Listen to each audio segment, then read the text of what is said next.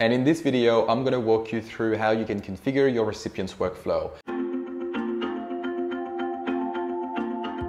Welcome back to Solusign's channel. My name is Sofian and in case you haven't met me before, I'm the founder of Solusign Consulting, a digital transformation agency that helps businesses grow through efficiency. And in this video, I'm gonna walk you through how you can configure your recipient's workflow, including setting the right signing order, as well as understanding which action uh, you should assign to your recipients. Let's do it.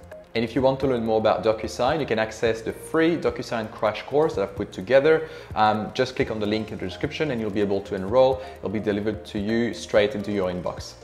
After you've created an envelope and added your documents, you will need to add your recipients by entering their first name followed by their last name and the email address. You can add as many recipients as you like. As the sender, I don't need to add myself as a recipient unless I am required to act on the document because I will automatically receive a copy of the completed document once all parties have completed their action. Next, I need to tell DocuSign which action I want my recipients to take on the document. There are many actions that you can assign to your recipients. The most common actions you can choose from are needs to sign, in-person signer, and receives a copy. If the recipients you're adding to the envelope needs to act on the document remotely, which means that they are not signing in your physical presence, then you need to assign them the action needs to sign.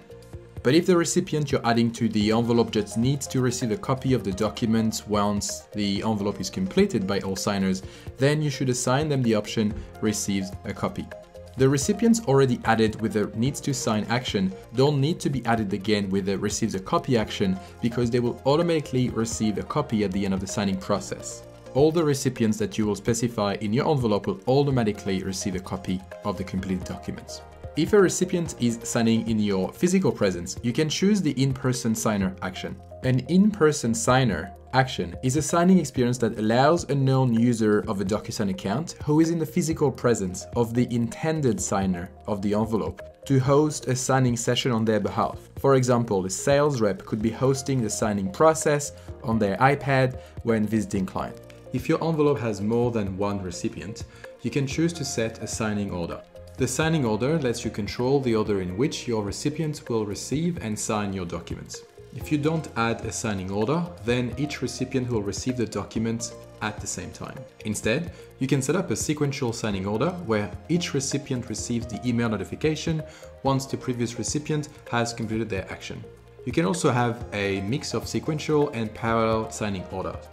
Now let's see how to add a signing order in DocuSign. In your envelope, after you've added your documents, um, you want to add the recipient and to set the signing order, you just need to check the box set a signing order.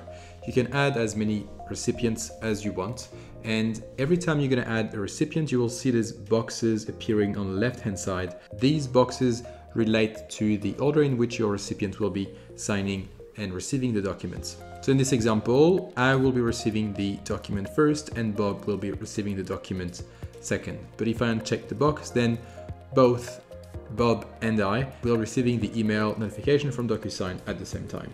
If there are a lot of recipients in your envelope, you can also use uh, these diagram to visually represent the signing order of the recipients.